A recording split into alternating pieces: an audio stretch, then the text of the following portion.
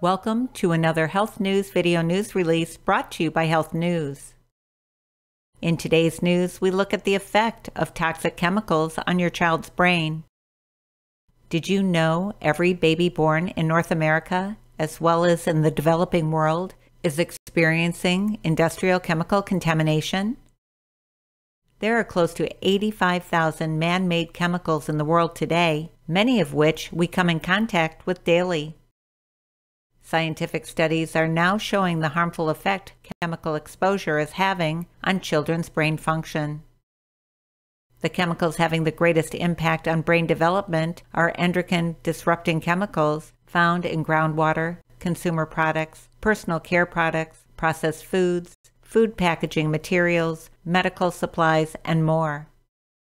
Fluoride, often added to drinking water, affects brain development and has been shown in studies to lower the IQ of children.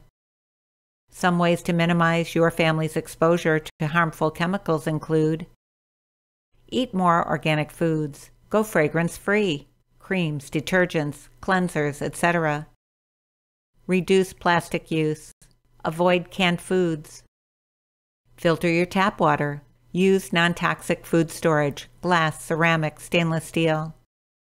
Improve your overall health with a nutritious diet, regular exercise, quality sleep, a positive attitude, and regular chiropractic care.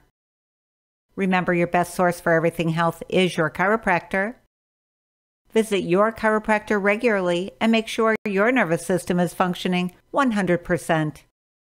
If you are watching this video on our YouTube channel or any of the social media networks, please subscribe and follow us.